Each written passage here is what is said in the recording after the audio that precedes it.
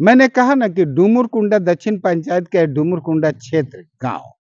ये पहाड़ी था भाई ये पूरा गाछ सो से लगा था। अब भू माफियाओं का क्या बात है? भू माफिया यहाँ के बहुत सक्रिय हैं और जेसीबी पोकलन से कटवाए होंगे माली कटवाए और जंगल भी काट कूट के बेच दिए।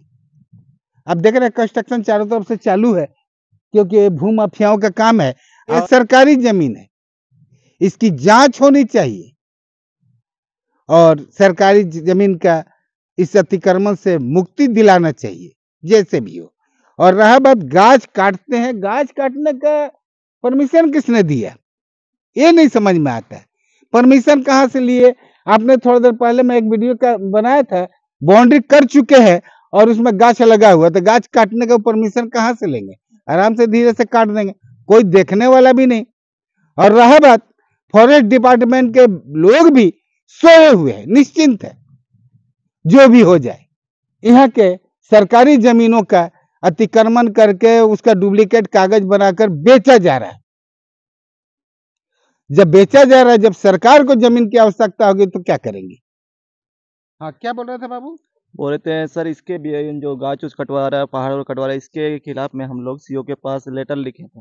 हाँ और ये वन विभाग को भी हम लोग संपर्क किए तो, तो वो वन विभाग का कहना है जब तक सीओ अगर कुछ नहीं करेगा तब तक हम लोग कुछ नहीं करेंगे। ऐसा हुआ था। हम लोगों ने फ़ोन से वार्तालाप किया था तो ऐसे ही वो बोले थे वो। उनका नंबर भी है मेरे पास।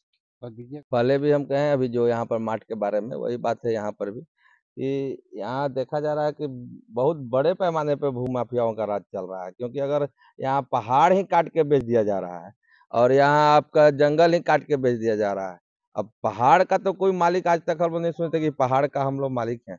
अब यहाँ बताया जाता है कि हम पहाड़ का मालिक है, पहाड़ को दिन रात काटवाया जाता है, उसके साथ जितना भी पेड़ पौधा है उसको भी कटवा दिया जा रहा है। आखिर इसका परमिशन पेड़ पौधा का तो कम से कम परमिशन होना ही चाहिए, लेकिन इन लोगों के द्वारा कहा जा रहा है कि फॉरेस्ट विभाग बोलते हैं कि जब तक अंचल नहीं लेगा एक्शन तब तक हम एक्शन नहीं लेंगे। तो ऐसा तो कभी हम लोग सुने नहीं थे, लेकिन पता नहीं है क्यों फॉरेस्ट विभाग का भी ऐसा मनमानी रवैया कहीं ना कहीं इन सब का मिली भगत के कारण ये भूमाफिया हो, अंचल हो फॉरेस्ट विभाग हो, स्थानीय स्तर के जितना प्रशासन हो, इनके मिली भगत से ही इतना बड़ा यहाँ गमन का काम किया गया है, ये सरकारी गमन है।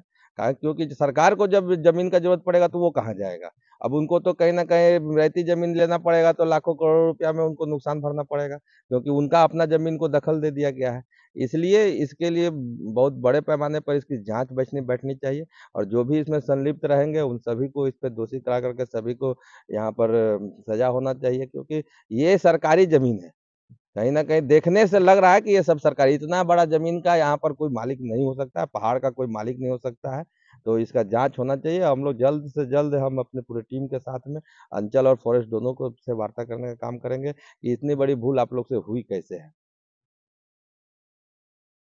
और भी ऐसी तरह तरह की न्यूज़ को देखने के लिए हमारे चैनल को लाइक करें, सब्सक्राइब करें और बेल आइकन ज़रूर क्लिक करें इससे हमारे आने वाली न्यूज़ की नोटिफिकेशन आप लोगों को सबसे पहले मिले।